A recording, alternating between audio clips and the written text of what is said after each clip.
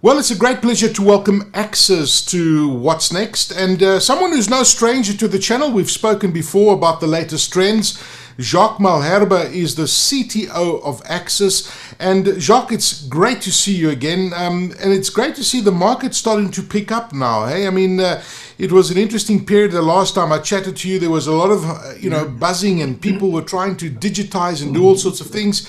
It's still happening, uh, but there's quite a bit of buoyancy in the market as, well, as well now. Are you picking up the same thing, Jacques? Absolutely, Aki. I think that's uh, quite a bit of pent up demand out there. Uh, there are people making plans. Uh, there are a lot of uh, budget shuffling going around, and we're all trying to cope with, uh, you know, the the lack of supply that we that are certainly constrained in the supply side.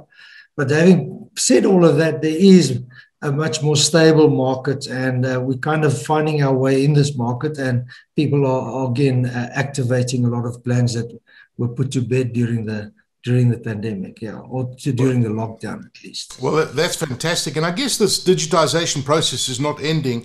Um, and you know, we're all looking at new ways of optimizing and adding that agility. One of the the, the buzzwords that's out there at the moment is the new edge that t- people are talking about, the distributed edge. Uh, there's many industry people are referring to, and I guess that you know we've you know it's a decentralization of the data center. The data center can't do everything, Jacques. Um, uh, so, what exactly is the edge? Yeah, it's it's one of those funny, uh, you know, concepts that come along, and then we take months to figure out what it meant, or what what it was intended to mean. The reality of it is that the internet, uh, as it is, and the data center as it is, can't cope with what we want to do. Um, uh, it's a centralized model, and it means that every every uh, component on the uh, that interacts with the center uh, needs to traverse a network and then interact with the center, uh, do what it has to do, and then download uh, information again and, and, repeat that process a million times a day. Uh, when we talk about anything autonomous or intelligent at the edge, then uh, there's enough of uh, computing power, there's enough memory, there's enough intelligence at the edge to make decisions at the edge and not necessarily consult with the center. Mm. Um, and so this whole edge now uh, is coming to the rescue of autonomous vehicles. Uh, decisions need to be made instantly on the edge. We can't wait. We can't. We can't uh, cope with the latency that's introduced into that conversation uh, and the and the lateness, if I can call it that, of the decision. And so, hence, uh, we're seeing a whole move in terms of moving uh, intelligence to the edge, and that's not only processing intelligence, but it's also connectivity intelligence. How do we connect? Um, what happens if there has to be a failover? What happens if we uh, we uh, overuse the capacity? Uh, how do we cope with all of these things that are happening at the edge that traditionally were just a networking issue with the center? And so that is dispersed everywhere. Um, everybody is now sitting at home working, just as an example. Yes. So the whole configuration and traffic patterning and everything is different now from where it was a year ago and drastically different from where it was five years ago. And so we need to cope with that now. And so the architecture of how we do things and how do we move traffic and how we pattern traffic uh, is totally different now. Okay. So, I mean, when you look at it, Jacques, um, and, and you look at connectivity technologies, how, how are those connectivity technologies being reinvented to enable the new edge? Uh, I guess that you've got to reconfigure some things there. And I mean, you look at uh, 5G and you look at how that's, you know, gaining quite a bit of adoption. So, so, so how do you. How do you talk about those technologies in this edge computing environment that we're in? Yeah, I think we, without getting, you know, without diving into bits and bytes, but yes, yes, there's some realities to what when we see these things move. Firstly, between 3 and 4G and 4G and 5G, there's a world of difference between those technologies. Those are not very simple little hops that happen, or it's not a simple idea of pushing more bits through a pipe uh, it's got to do with the architecture itself and how it handles traffic and, and what it does with traffic. Yes. Now, you might you might remember when we started when the topic of conversation in the networking world was the software defined network or yes. software defined WAN, SD WAN. And what we were saying is that we are taking control of the traffic through software and we're going to manage and manipulate uh, and control the traffic through software. And so we'll have very simple hardware devices, but we're not going to build uh, the old fixed line routed network. We're going to use the internet as a transport mechanism for us to connect branches. And so we did that, and it worked very well, and it's still working very well, and it's still growing uh, at a tremendous pace. But somewhere in that uh, uh, converse, conversion to software defined WAN, um, we discovered that it's not secure enough. Uh, we need to do something with the security. We discovered that uh, we want to talk into a hybrid world where we not just want to connect our branch, but we want to connect our branch to cloud, and we want to talk to cloud.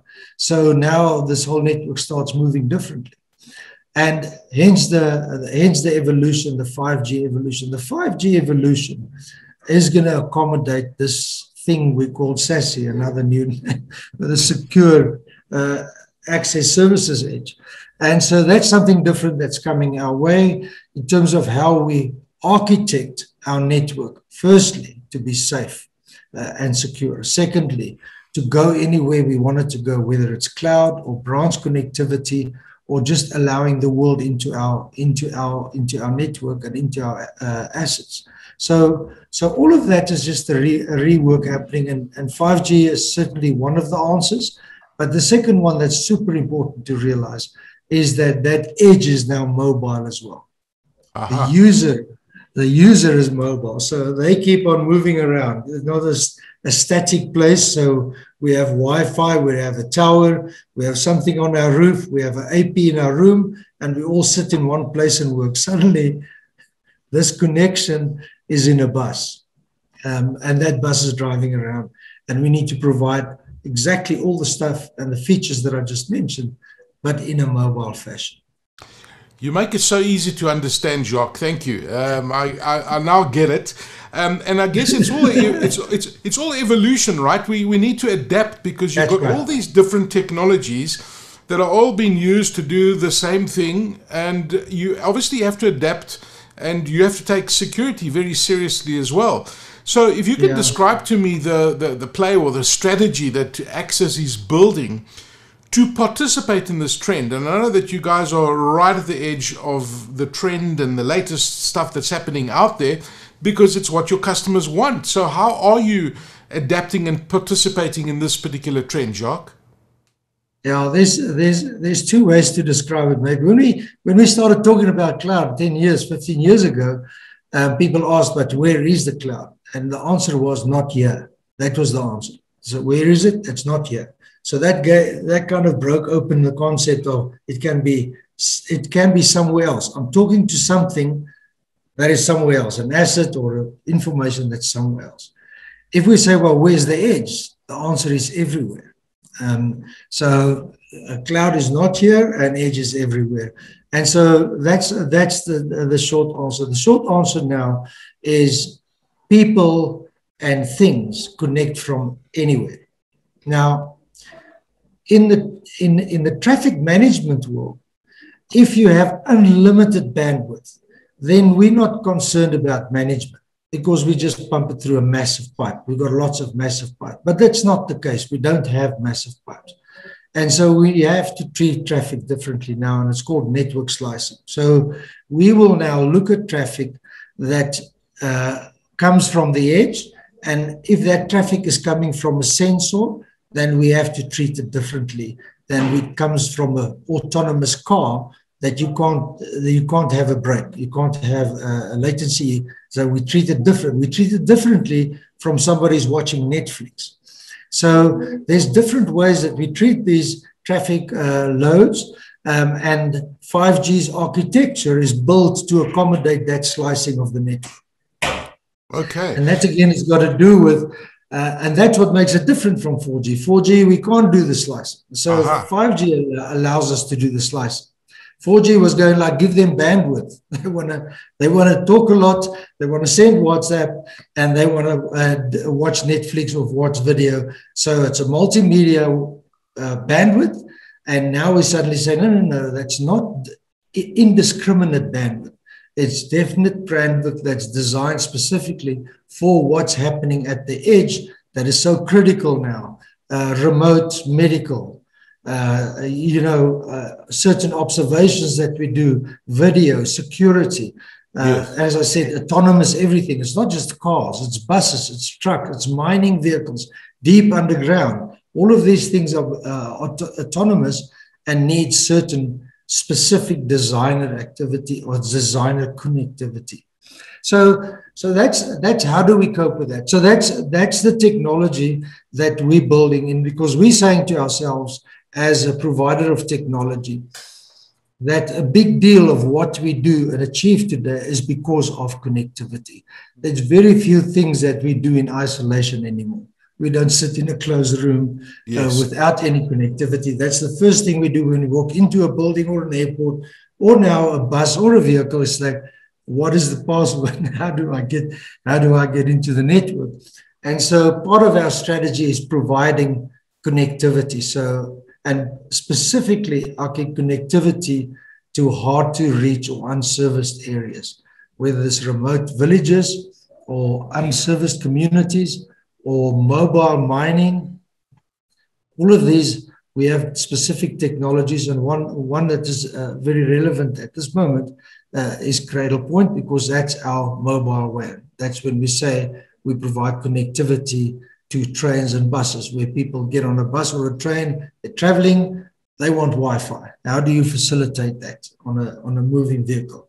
We have trucks that have sensors on them uh, that's monitoring the engines and monitoring everything that that's uh, mechanical. How do we connect that? This vehicle is moving around, moving underground. How do we accommodate branches that may be also remote, not big, but we need to connect them and we need to provide services inside that branch. Again, uh, is that mobile WAN, uh, which we talk with Cradle Cradlepoint. Wow, so you, I mean, there's a lot of complexity, and you know, you you think that you know, um, uh, getting connectivity onto a bus that, that's moving at say 60 or 70 kilometers an hour, or on a highway, for example, that that, that is brings its own challenges, doesn't it? So I mentioned you yeah. mentioned uh, Cradlepoint a second ago and mobile WAN. Who is Cradlepoint and what is Mobile WAN? Yeah, um, Cradlepoint is part of Ericsson. And Ericsson, as you know, is a key player in the mobile network. Yes. So they've been in, in the mobile Swedish company, they've been in the mobile networking business for, for a long time. And they acquired Cradlepoint a few years ago. And so that technology now is the is is 5G ready. And as soon as the the uh, as soon as all the, the legislation around 5G in this country is settled, uh, then then we can break into it. So we run at 4G at the moment, and there are some instances of private 5G. You will see that happening a lot in uh, in in the world, where big campuses, uh, military bases, and so forth are building intern inside their fences. They're building a 5G network to service their own internal uh, inter- internal users. Um, Cradlepoint, Cradlepoint is one of the forerunners today in terms of building mobile WAN. And so what we're saying is instead of extending our wide area network to a branch office uh, or to a customer site, we are now saying that this branch office is a bus. this branch okay. office is a truck, or this branch office is a specific piece of machinery that's mobile like we mentioned, mining is very relevant. Uh, this this this IoT or sensoring is happening from a device that's moving around or being carried around or moved from site to site. So anything that is not static, um, that you want high uh, throughput connectivity to, managed, secure, high throughput connectivity to, uh, Cradlepoint is the is the technology that we use. Okay, that's a smart technology, and and and, and I like the mm-hmm. fact that you mentioned it can switch from 4G to 5G, right? And Absolutely. I was going to say, you know, watch your language there because you almost, you know, you almost used a swear word called spectrum uh, just now. So, but but uh, hopefully, I don't hopefully, think I don't, you have to be a South African to enjoy that joke. Right? Yeah, exactly. But but I mean, hopefully we resolve that because as soon as you as soon as that spectrum is freed up and and you can you can have that 5G easily available on specifically what we're talking about, it just makes a world of difference, doesn't it? Yeah, and it's uh, it's kind of symbiotic uh, how these things work. You make the bandwidth available, it gets consumed. Um, there's there's actually very little left over spectrum anywhere in the world. Anywhere where spectrum is opened up, it's being consumed, and that paves the way for new applications to start functioning, for new people to do new things uh, over the network, for people to do things remotely, more efficiently. So as soon as the spectrum opens up, it, it, like I said, it, it, it, gets consumed very quickly. And that's why we're pushing for it. And yeah. there's a direct correlation between economic growth, uh, people passing school, uh, getting information in remote areas. How do we facilitate school children in remote areas if we don't have the spectrum to do Absolutely. It's, Absolutely. it's fundamental to what we're trying to achieve economically and socially in this country is that they open up the spectrum because once it's open, we can facilitate. Jacques Malherbe, the CTO at Axiz. It's always great chatting to you, Jacques. Thank you for joining us on What's Next and explaining the next journey for Axiz and the and making uh, uh, explaining this technology in a way that I can now understand. It's always good to chat to you, Jacques. Wish you well and thank you for joining us. You're most kind, Aki. Thank, thank you, and nice seeing you again as well. Take care. all, all the best.